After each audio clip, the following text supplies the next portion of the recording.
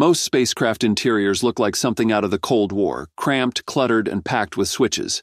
Then SpaceX built Crew Dragon, full touchscreens, custom fitted seats, an actual toilet, and a capsule so intuitive civilians have flown it with minimal training. Compared to every other crew capsule flying today, Dragon's interior isn't just different, it's better in every measurable way. The layout is clean. Three large touchscreens replace traditional control panels. There are around 30 physical buttons, only for critical functions like abort or radio. Almost all other interactions are done through the screens. Each screen displays mission data, navigation, life support status, and control interfaces. Inputs are possible with gloved hands. Visual cues confirm every interaction. Crew Dragon supports up to seven crew. NASA typically flies four. The seats are custom molded from carbon fiber and foam, tailored to each astronaut using body scans.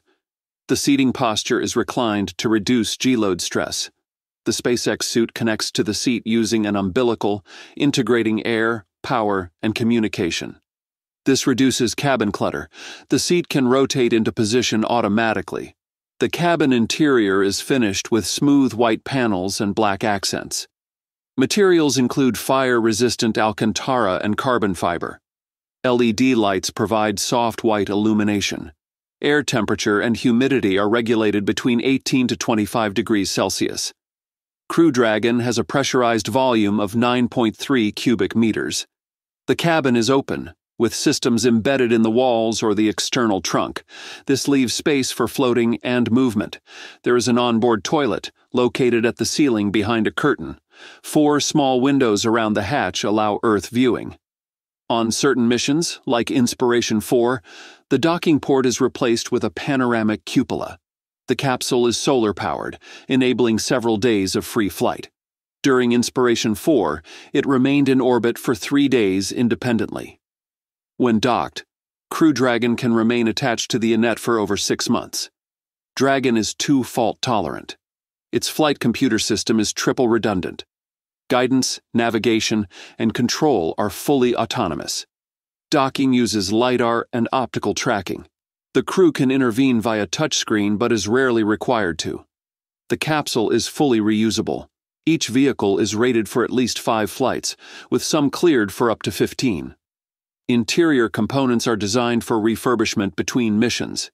Compared to other capsules, Crew Dragon prioritizes crew usability, automation, and comfort.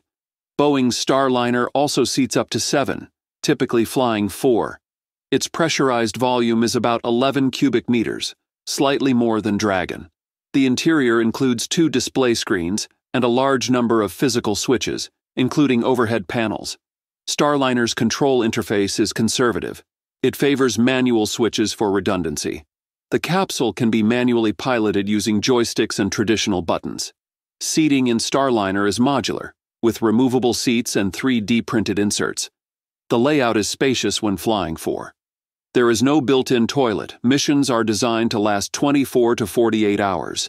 The spacecraft is battery powered, with an endurance limit of around 60 hours. Comfort is basic. The cabin uses LED lighting and has side windows. There are no entertainment systems. Crew must rely on diapers for bodily functions during flight. NASA's Orion capsule is designed for long duration deep space missions. It has about 9 cubic meters of habitable volume and a total pressurized volume of around 20 cubic meters. Orion seats four astronauts. The seats are foldable to allow for movement, exercise, and sleeping arrangements during missions up to 21 days. The interior includes a hygiene bay with a full toilet system and privacy curtain. The cockpit has three large touchscreens and around 67 physical switches. Manual controls are present for docking and attitude control. Orion is highly autonomous but includes manual redundancy. Life support systems include full atmosphere recycling, radiation shielding, and water recovery systems. Power is supplied by solar panels on the European built service module. Orion is not intended for short missions. Russia's Soyuz is the oldest operational capsule. It carries three crew in a very confined space. The descent module, where astronauts are seated during launch and landing, has around four cubic meters of space. The crew's knees are bent and shoulders touch. Controls are analog heavy. There are two small digital screens and many physical switches.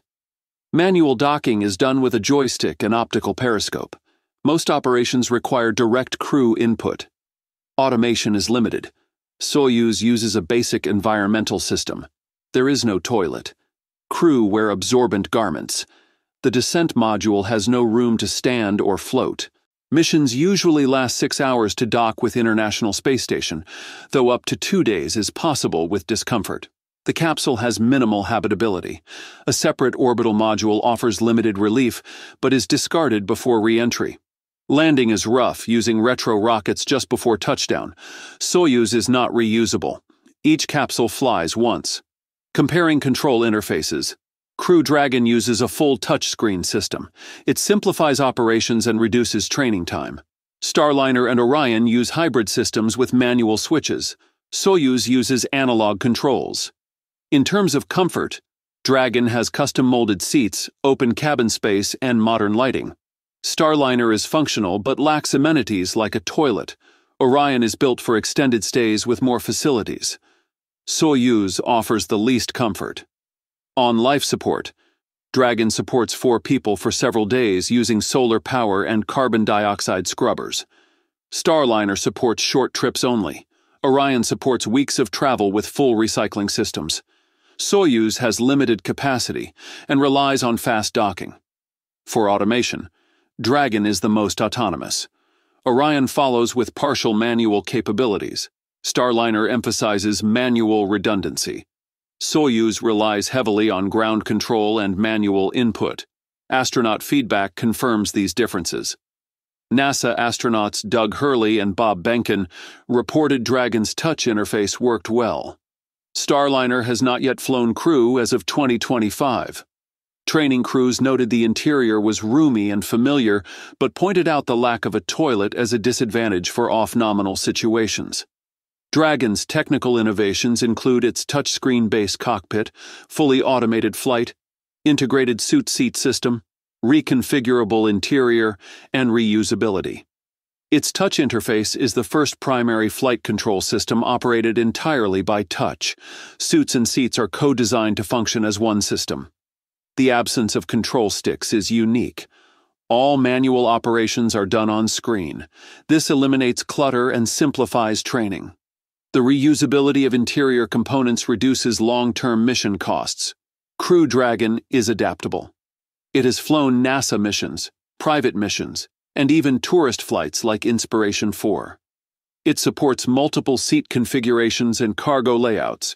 Its safety systems, including integrated launch escape, autonomous docking, and fault tolerant flight computers, allow for minimal crew workload while maximizing safety. In conclusion, Crew Dragon's interior is superior for low Earth orbit missions. It has the most advanced user interface, the most comfortable seating, a functional layout, and better crew experience compared to Starliner and Soyuz. Orion exceeds Dragon in endurance and long duration mission capability, but is optimized for deep space. For short orbital flights, Dragon is the leading capsule in terms of usability, design, and operational performance. The combination of automation, ergonomics, comfort, and mission flexibility makes Crew Dragon's interior the best among operational crew capsules today. Thanks for watching. See you in the next video.